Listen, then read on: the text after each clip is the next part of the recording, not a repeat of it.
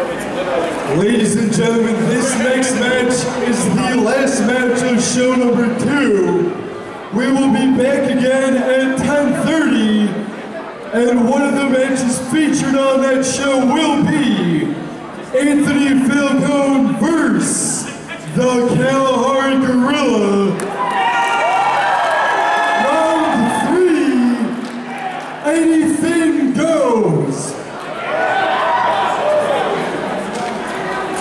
next contest is a seven-way match featuring our high flyers of the Mega Championship Wrestling Division.